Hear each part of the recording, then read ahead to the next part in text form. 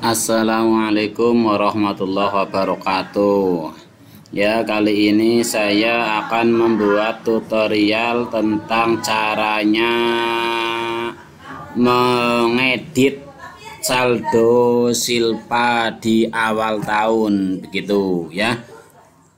Begini saja gampangnya langsung kita lihat TKP ini. Nih di sini di BKU saya bulan Januari ini ada ini di sini di BKU bulan Januari tercatat ada silpanya. Silpa ini ada silpa 5000 tapi masuknya ke bank semuanya ya. Ini padahal harusnya ini saldo ini masuknya di reguler. Bisa kita lihat seperti ini jadi kalau kita mau aktivasi BKU 2024 itu kita lihat di dulu ini. Desember 2023. Lihat Desember 2023 saldo akhirnya nah ini ya. Saldo banknya 0, saldo kas tunainya 5000. Tapi ketika aktivasi yang 2024 itu terkadang kan ada yang langsung asal klik-klik-klik saja begitu tanpa di baca lebih teliti. Jadi dananya semuanya masuk ke bank kayak ini punya saya ini. Yang 5000 nya semuanya masuk ke bank.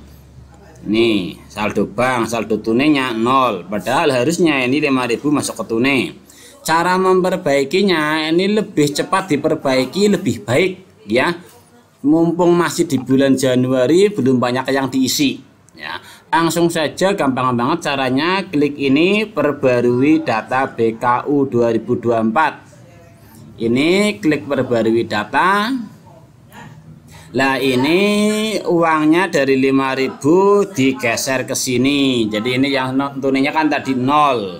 Ini tunainya yang 5000 ini diisi tunainya 5000 Nah, ini jadi yang non tunainya bisa otomatis nol dengan sendirinya karena ditun ditunai sudah 5000 terus klik konfirmasi.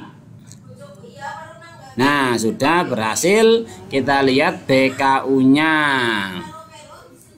Lihat BKU. Nah, ini sudah benar. Saldo kas tunainya sudah ada 5000 ya. Ini sudah berpindah ke tunai. Begitu ya. Mudah-mudahan bisa dipahami dan lebih dan mudah-mudahan di tahun 2020